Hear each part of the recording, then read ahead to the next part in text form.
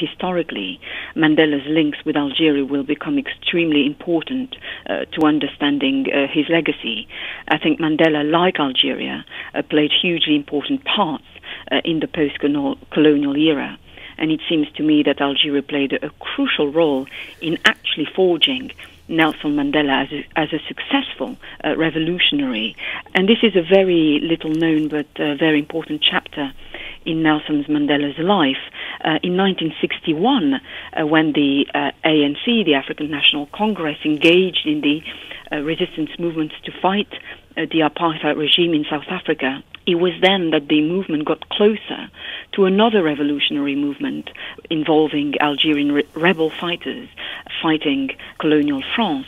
And uh, in 1961, Mandela visited fighters from the Algerian revolutionary movement uh, in exile uh, in Morocco.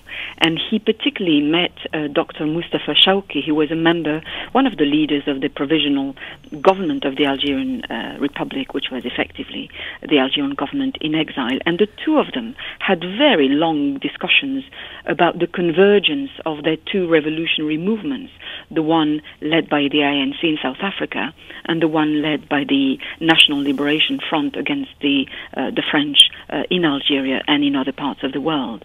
And for Mandela, the symmetry uh, between the two movements was absolutely obvious.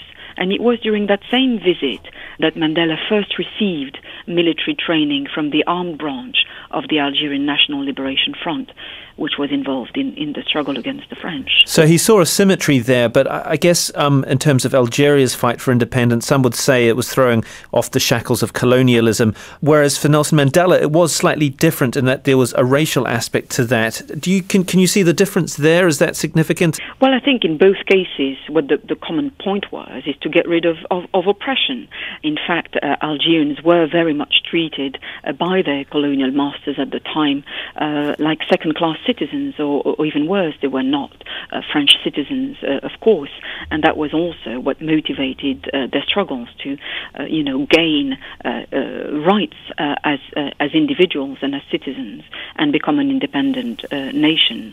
And that's precisely why that the Algerian Liberation Front leaders not only trained Mandela and ANC members militarily, but they also supported them financially in their fight against apartheid.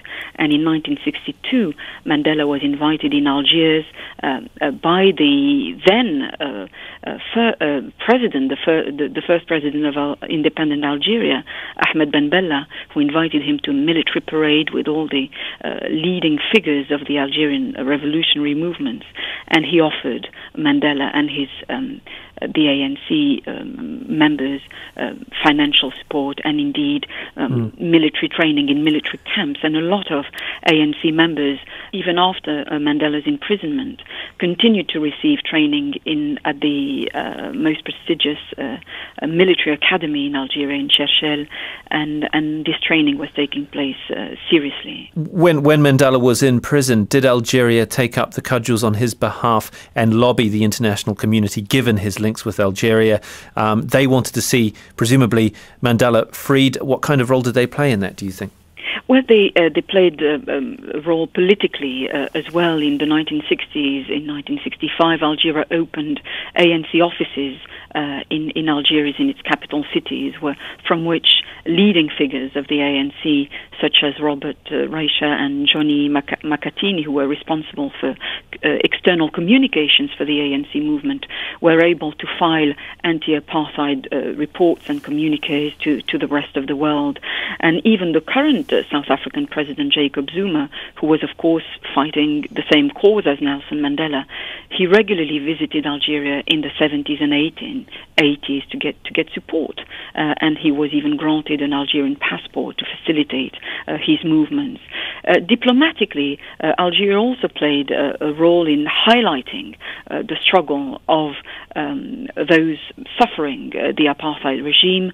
in 1974, the Algerian Foreign Affairs Minister Abdelaziz Bouteflika, now Algeria's president, who was also president of the U- United Nations General Assembly, he was um, responsible for ruling out apartheid South Africa from the United Nations 29th session.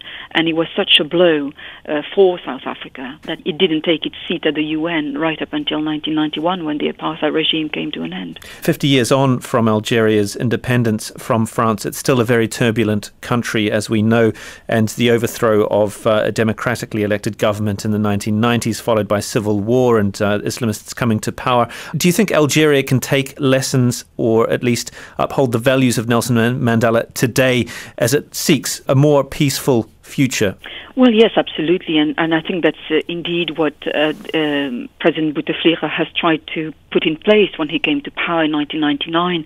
Uh, at the end, uh, effectively, of the uh, decade-long uh, civil war, he embarked on a process of of reconciliation, much like what Mandela was trying to achieve to reconcile, you know, different people in his own country, and and so amnesties were issued in Algeria to um, try to um, perhaps heal the nations from the you know the terrorist attacks it had been a victim of and, and try to form a nation again. And as we are seeing uh, in the context of the Arab Spring more recently uh, what we are very much witnessing is that because of its very bloody history Algerians are uh, much keener to uh, embark uh, on a, a perhaps slower and pragmatic political reform rather than uh, a violent uh, path towards uh, reform, really.